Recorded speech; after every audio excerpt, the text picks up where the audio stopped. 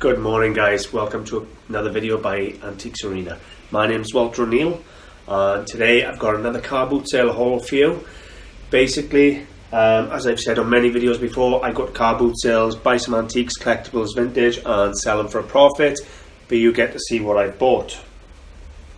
Now I've got a nice selection again today, bit of run of the mill and one or two really nice quality pieces as per usual. Now start off with some run of the mill. We've got some Portmeirion Botanical Garden Pattern ceramics. Now, these cost me £15 for three, so if you like, five a piece. They're not the easiest thing in the world to sell anymore, but there are still collectors of it. I'd be careful I'm forever dropping the bloody stuff. So I think it's done by Susan Ellis. It doesn't say on there, but I'm sure it's Susan Ellis Williams is it, or someone along that lines in the Botanic Garden. Does it say on this one? Uh, it doesn't say. And we have the uh, Portmeirion oven dish.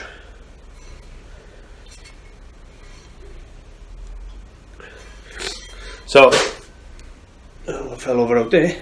For fifteen pounds, to be honest with you, they're probably going to be close to that each. So that's absolutely fine. To be totally honest, I'm happy enough with that.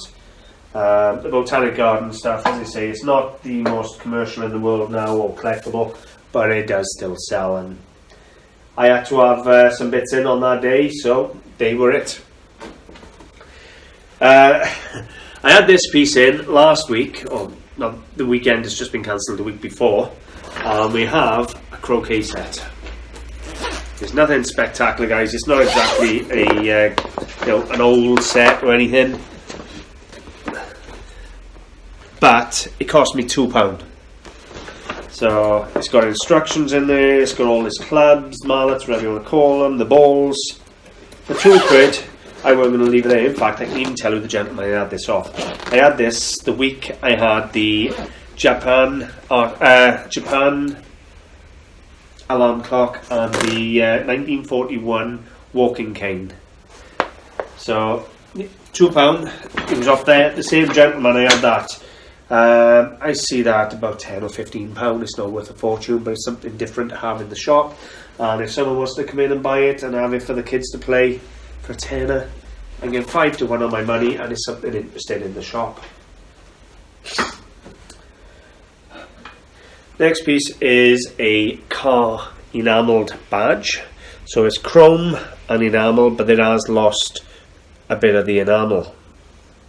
Um, it is Saint Christopher, Traveller's Patron Saint.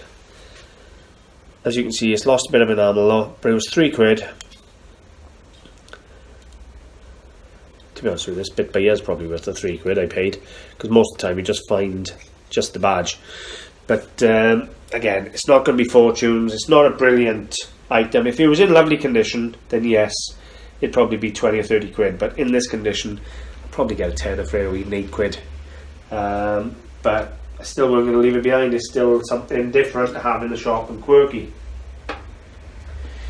My star lots for today is a group of three items. I'll show you the first.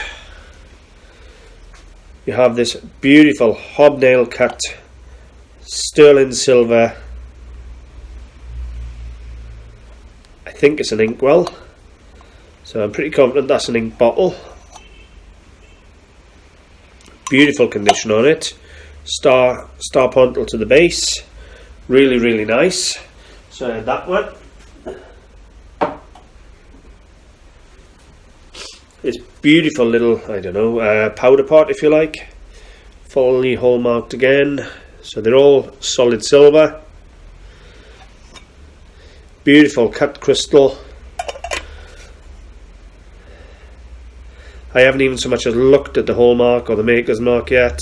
They've been put in the bag, waiting to be filmed for about four or five weeks, these have. Uh, they're all going to be mid-century, give or take, maybe 1920s to 1950s looking at now in his 30s. Um, but I'll, uh, I'll check the dates and make us out in a bit. And then we had this beautiful little uh, hobnail cut box again. Really nice quality pieces. Now, they didn't come in for nothing. I paid £25 for the three. Um, but they are really, really nice quality. Beautiful, in fact. Uh, they're all going to be eBay items, I think. Don't I'm doubting very much if I'm going to put them in the shop. Um, the ink bottle is going to be about 35. The small box 30 35. The larger one maybe 45. So there's a good return there for my money.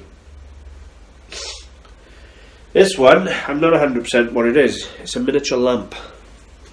Not sure if it's uh, an early miner's lamp. Um, I'm going to have to check it, but it's a working lamp. It's got the wick and everything in there, and the res.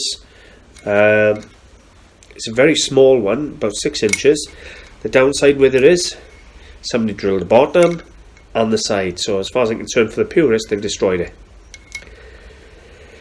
It came in for a pound, but I'm absolutely devastated that they drilled it.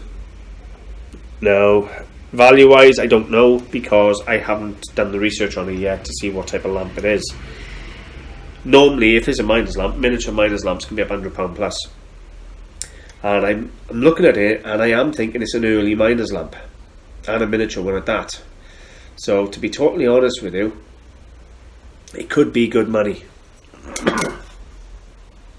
if I do manage to figure out exactly what lamp this is over the next day or so before the film goes out, um, I'll put it into the comments or into the description actually. I'll put in the description what it is uh, once I have a look into it.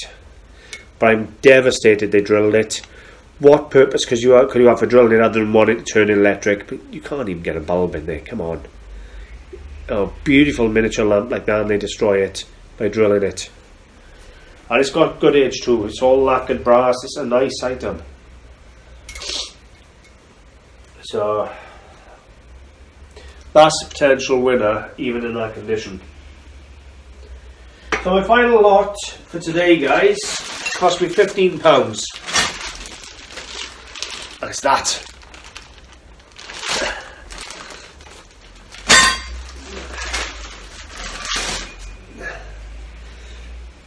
It's one brass miner. There's another brass miner. I do have all the shovels and picks and things to go with them. There's a couple of the shovels. Here's another miner. that one's got something on it. I can't read it. It's a nice early one, that one actually.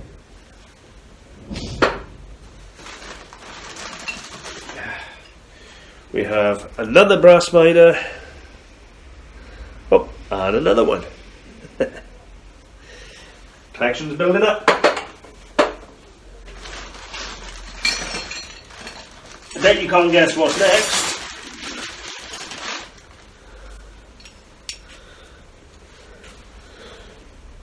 Well, I don't think that's a miner, but we could be wrong. We'll have a look at that one later. We got another miner, and another miner, and another one of these ones. That's two. I think they're identical. Different colours though. One's white metal, one's yellow metal. Huh. Interesting. You made of silver? I have to look into that one. That one could be silver. Hmm.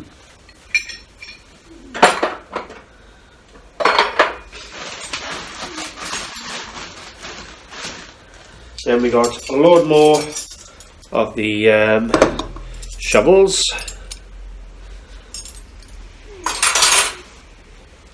On this final one, you have a miner pushing a cart.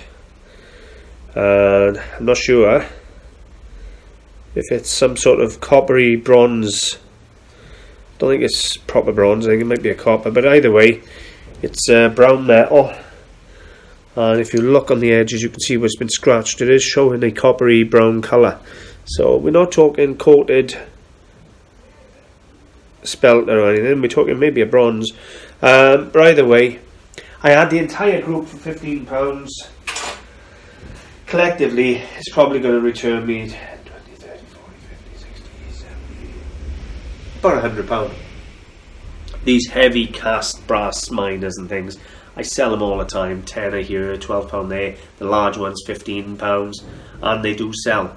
I have quite a lot of tourists pass here that come into the area, and they always want a little bit of Wales to take home, and they to buy a lot of the miners. So I always do the miners, the brass miners, the, whether they're the big figures, the little figures, the figures with the coal in, it doesn't matter, I buy them all. Um, the question mark for today for me is this.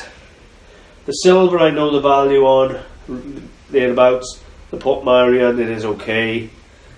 This is the uh, potential winner.